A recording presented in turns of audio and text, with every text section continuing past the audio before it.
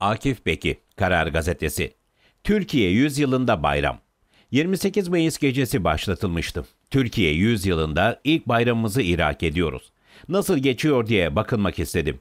Tepdili kıyafetle turist kılığına girerek sayfiyeleri kolaçan ediyorum. Dostlarım Fulya, Haluk Nayman çifti geleneği bozmadı. Bodrum Mandarin'deki yazdıklarında yine Kurban Bayramı resepsiyonu verdiler. Bu vesileyle gözleme imkanım oldu. Enflasyon etkisi ta buradan da hissediliyor. Kavurma aynı kavurma, kavuran fiyat değişmiş. Enflasyona rağmen tadı, tuzu yerindeydi. Geçen seneki kadar nefis.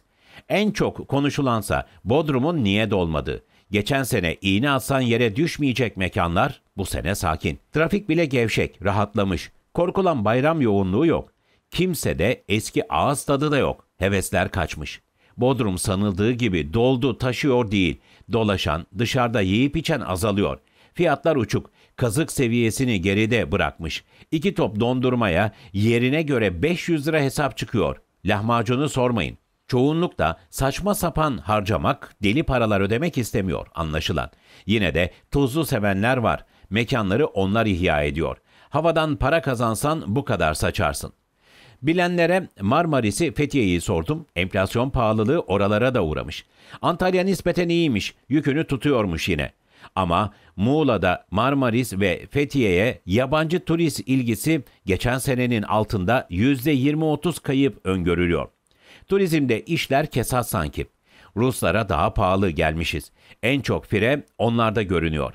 Bizden ucuz destinasyonlara yöneldiler belki. Beklenen ilgi yok. Neden mi? Turizmde rekabetçiliğimizi kaybediyoruz. Rusların parası değer yitirmiş. Uçak biletleri iki katına yükselmiş. Otellerde oda fiyatlarına ortalama %30 zam yapmış. Daha ne olsun?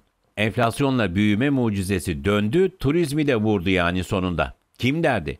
Başlarda ülkeyi kendi insanımıza pahalı ama yabancıya sudan ucuz hale getirmişti. Artık Avrupalıya da kelepir değil. Kendi ülkemizde darlık çekmekte Hans'la George'la eşitlendik hamdolsun.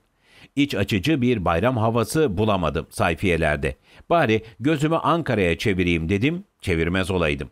Siyasi partiler ikinci günü bayramlaşacaktı. Türkiye yüzyılında 85 milyonu kucaklamayı hatta Esad'la Sisi ile barışı savunan AK Parti'ye baktım. Bazı partilerle küs kalmaya durmak yok devam ediyor. Gelecek Saadet Deva ve DP ile bayramlaşmıyor.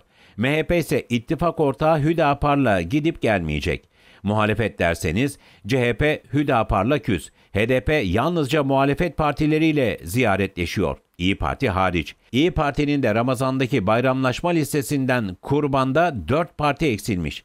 Siyasetçiler, vaizler lafa gelince nasıl anlatıyordu? Bayramlarda küslükler, dargınlıklar bitirilir. Türkiye yüzyılı bayramlarında başka oluyor demek. Abone olmayı ve bildirimleri açmayı unutmayın.